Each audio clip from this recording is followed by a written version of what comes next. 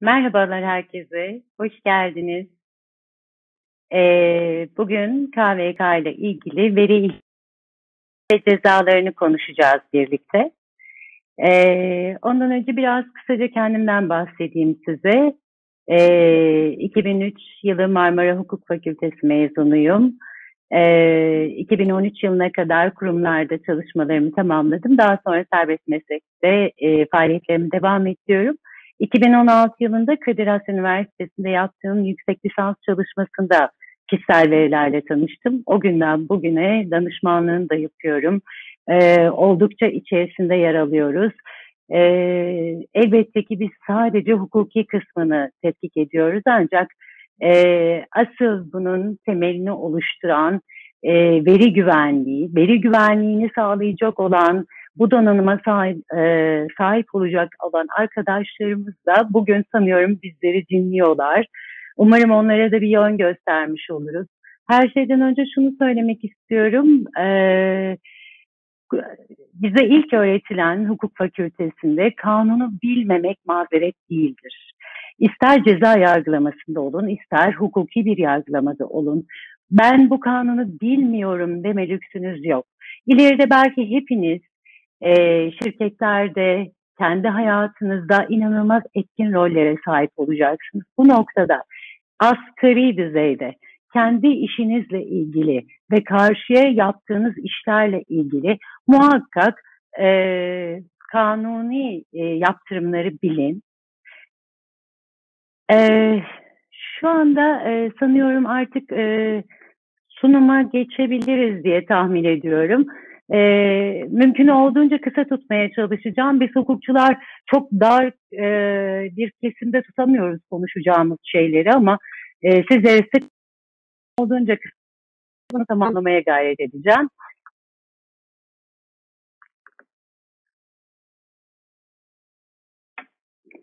Şu an umuyorum ekranda görebiliyorsunuz e, sunumu. KVK veri ihlal bildirimleri ve cezalarını e, bugün bahsedeceğim. KVK kendi kapsamında çok geniş bir konu. Biz bunu bugün veri ihlal bildirimleri ve cezaları olarak kısıtladık ama sizlere çok kısaca e, girişinden e, biraz amaç kısmından bahsetmek istiyorum. Kişisel verilerin korunması kanunu e, özel hayatın gizliliği, kişilerin temel hak ve özgürlüklerinin korunması, kişisel verileri işleyen gerçek ve tüzel kişilerin yükümlülüklerinin belirlenmesi, yapacakları usul ve esasları düzenlemek amacıyla Nisan 2016 tarihinde yürürlüğe girdi. Peki neleri kapsıyor bu? Kişisel verilerin sınırsız biçimde ve gelişi güzel toplanması, yetkisiz kişilerin erişimine açılması, ifşası veya amaç dışı ya da kötüye kullanımı sonucu kişisel hakların ihlal edilmesinin önüne geçilmesi amaçlanmaktadır. Kanunun ikinci maddesinde kişisel verileri işlenen gerçek kişiler ile bu verileri tamamen veya kısmen otomatik olan ya da herhangi bir veri kayıt sisteminin parçası olmak kaydıyla otomatik olmayan yollarla işleyen gerçek ve tüzel kişiler hakkında uygulanacaktır diyor. Bakın burada çok önemli bir şey var. Uygulanmayan yani kanunun uygulanmadığı alanlar var. Uygulandığı alanların en başında kişi geliyor. Bir kere mutlaka kişisel veri olması lazım ki siz bu kanundan dolayı e, uymanız gereken kurallara uyun veya uymadığınız zaman cezalandırılabilir. Tüzel kişilerin verileri ticaret kanunu uyarınca korunur. Burada o ayrım yapmakta fayda var. Bir de veri kayıt sisteminin parçası olması lazım işlemiş olduğunuz verilerin. Sistematik bir şekilde işleniyor olması lazım. Bu konu o kadar derin ki bunu burada ele almamız mümkün değil. Ben hemen kısıtladığımız konuya geçiyorum ve veri güvenliğini sağlamaya yönelik tedbirlerden devam ediyorum. Kanunun 12. maddesine uygun olarak veri sorumlusu tarafından veri güvenliğini sağlamaya yönelik gerekli her türlü teknik ve idari tedbir alınması gerekiyor. Bakın burada veri olmakla yükümlü olan kişi veri sorumlusu. Yani veriden sorumlu olan kişiden bahsediyoruz. Bu kişi bir tüzel şirket de olabilir. Tüzel şirket bu sorumluluğu birim çalışanlarına, yöneticilerine veya bununla ilgili atacağı, atayacağı bir yönetim kurulu üyesine dahi verebilir. Veri sorumlusu kişisel verilerin hukuka aykırı olarak işlenmesini önlemek zorundadır. Kişisel verilere hukuka aykırı olarak erişilmesini de önlemesi gerekiyor. Aynı zamanda kişisel verilerin muhafazasını sağlamak amacıyla uygun güvenlik düzeyini temin etmeye yönelik gerekli her türlü teknik ve idari tedbiri almak zorundadır. Şimdi kurul tarafından verbis kaydını yaparken veri güvenliği tedbirlerine ilişkin 41 tane soru soruluyor bize. Bu 41 tane soru bizim veri güvenliği anlamında neler yapmamız gerektiğine dair bir harita aslında. Salt bu programı kullanın, salt bu yazılımı kullanın ya da bu daha güvenlidir gibi hiçbir şey e, kanunumuzda veya yardımcı kanunlarımızda herhangi bir gösterme yoktur. Sadece bize bir harita çıkartılmış. Bu haritaya göre gerekiyor. Ee, 41 soruyu çok hızlı bir şekilde okumaya çalışacağım zamanınızı almadan. Ağ güvenliği ve uygulama güvenliği sağlanıp sağlanamadığını soruyor bize. Ağ yoluyla kişisel veri aktarımlarında kapalı sistem ağ kullanılıp kullanılmadığını soruyor. Anahtar yönetimi uygulamalarımızı soruyor bilgi teknolojileri sistemleri tedarik, geliştirme ve bakımı kapsamındaki güvenlik önlemlerimizi bulutta depolaman kişisel verilerin güvenliğini, çalışanlar için veri güvenliği hükümlerini içeren disiplin düzenlemelerinizi, çalışanlar için veri güvenliği konusunda belli aralıklarla eğitim ve farkındalık çalışmaları yapıp yapmadığınızı, çalışanlar için yetki matriksi oluşturulmasını, erişim loglarının düzenli tutulup tutulmadığını, erişim bilgi güvenliği, kullanım, saklama ve imha konularında kurumsal politikalar hazırlanıp uygulanıyor mu bunu soruyor. Gerektiğinde veri maskeleme önlemi uygulanıyor mu? Gizlilik taahhütleri yapılıyor mu? Görev değişikliği ya da işten ayrılma olduğunda yetkiler kaldırılıyor mu? Antivirüsler güncel mi? güvenlik duvarları kullanılıyor mu? İmzalanan sözleşmelerde veri güvenliği hükümleri var mı? Bunlar sadece ilk sözleşmeleri değil. Bakın burada ticari sözleşmelerinizin içinde de veri paylaşımı yaptığınız bütün firmalarla bir e, veri güvenliği sözleşmesi yapıyor musunuz? Kayıt yoluyla aktarılan kişisel veriler için ekstra güvenlik tedbirleri ve ilgili evrak gizlilik dereceli belge formatında gönderilip gönderilmiyor mu? kişisel veri güvenliği politika ve prosedürleri, kişisel veri güvenliği soruların, sorunlarının hızlı bir şekilde raporlanıp raporlanılmadığına kadar soru geliyor. Kişisel veri güvenliğinin takibi yapılıp yapılmadığı, kişisel veri içeren fiziksel ortamlara giriş çıkışlarla ilgili gerekli güvenlik önlemlerinin alınıp alınmadığını, kişisel veri içeren fiziksel ortamların dış risklere karşı güvenliğini, yangın, sel gibi güvenlik önlemlerini aldınız mı bu doğal afetlere karşı diyor. Kişisel veri içeren ortamların güvenliğini soruyor.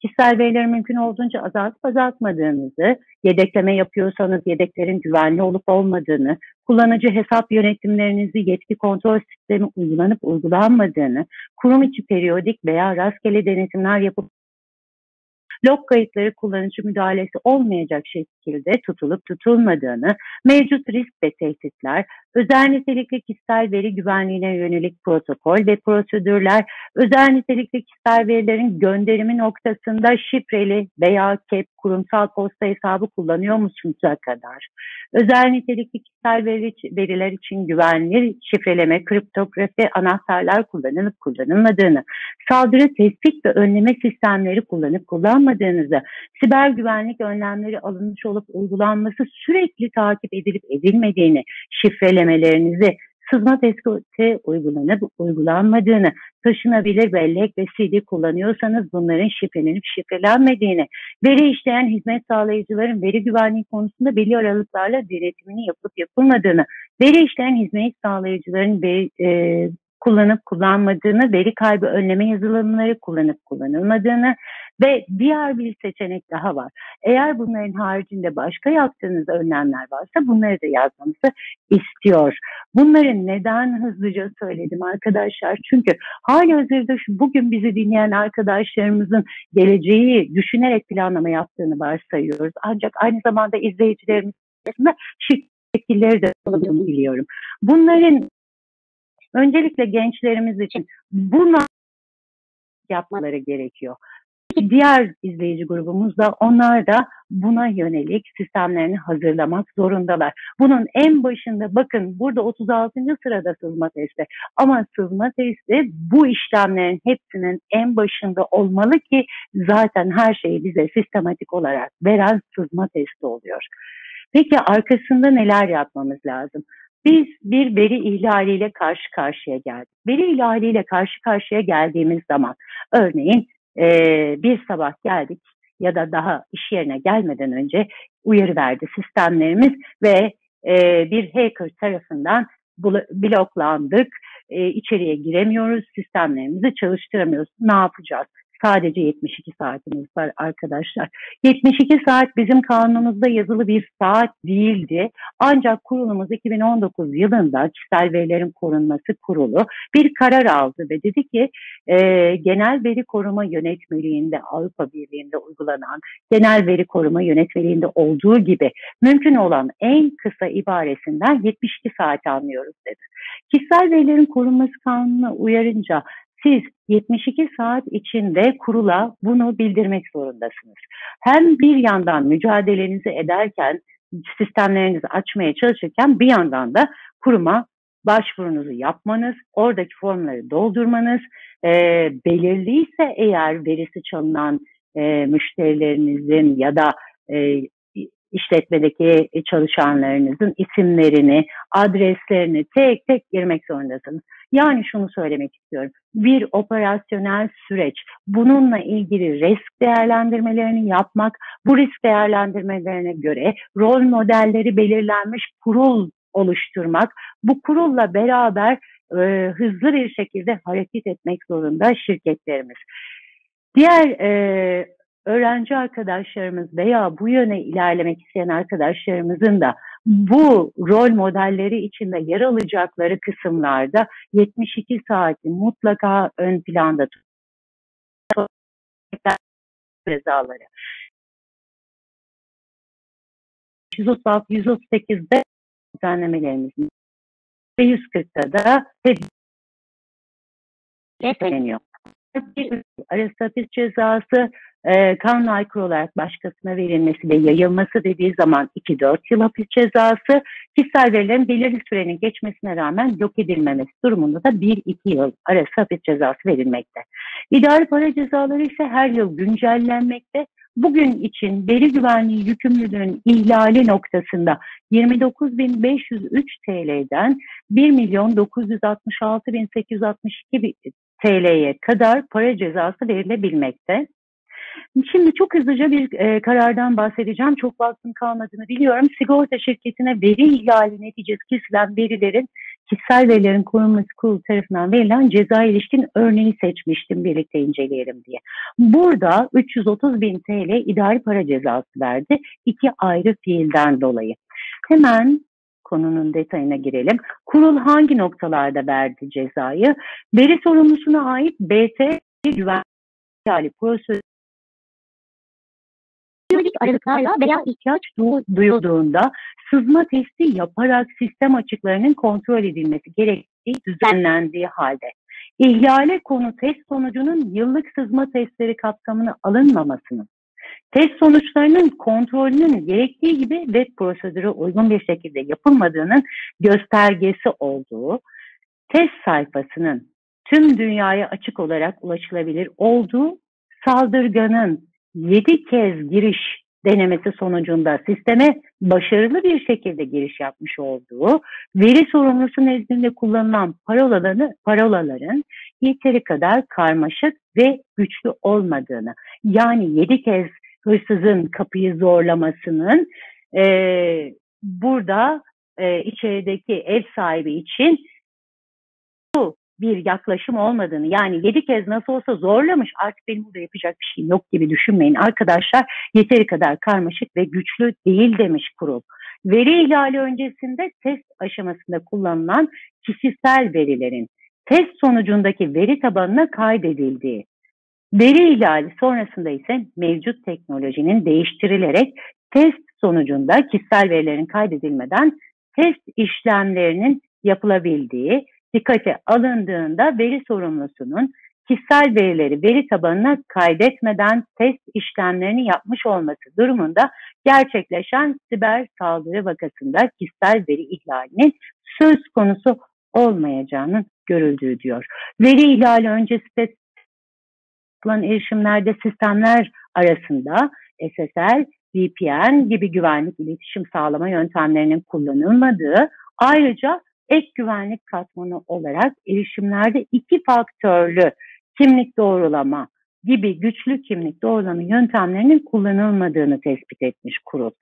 Veri ihlalinden etkilenen kişisel veriler arasında TC kimlik numarası olduğunu, bunların şifrelemelerinin doğru yapılmadığını, veri sorumlusunun böyle bir eylemde bulunmadığı dikkate alındığında kişisel verilerin gizlilik derecesine göre muhafaza edilmesi konusunda veri sorumlusu tarafından yeteri kadar özen gösterilmediğini demek suretiyle veri güvenliğini sağlamaya yönelik gerekli teknik ve idari tedbirleri almayan veri sorumlusuna 300 bin TL idari para cezası veriyor arkadaşlar.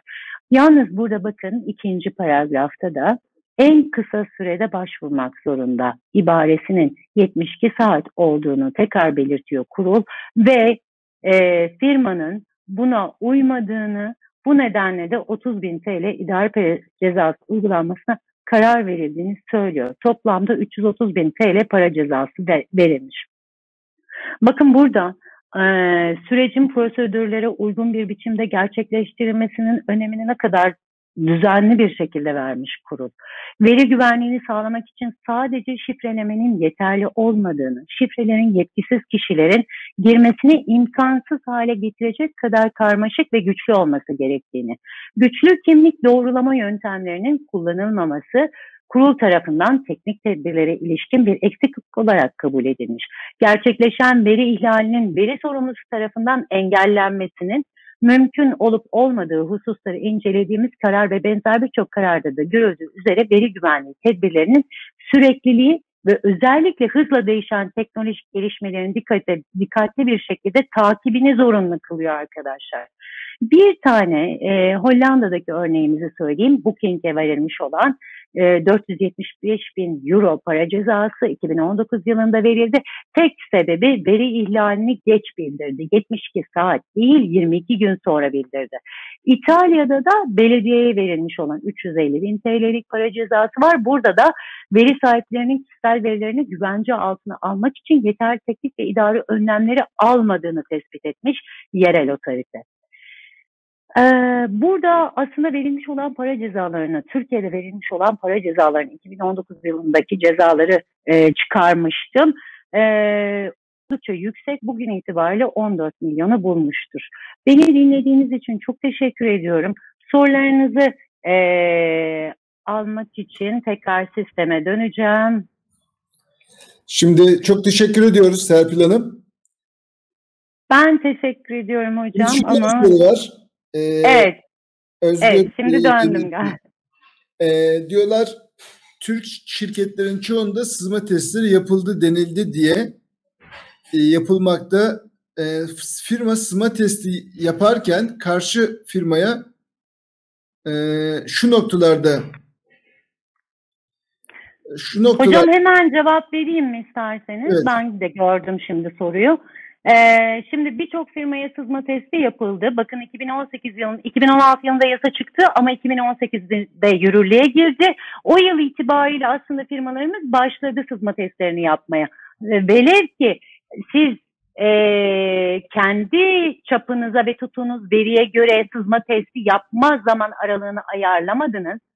Kanun çıktı bir kere yaptınız. Hiçbir değeri harbiyesi yok.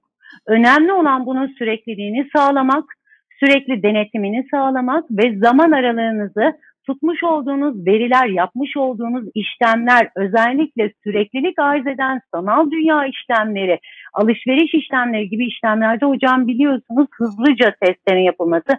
Hatta bizim konuştuğumuz başka bir teknokent e, şirketimizde e, günde 60 kere yapılıyor gibi bir takım hususlar var. Buna göre değerlendirme yapmalarını tavsiye ederim.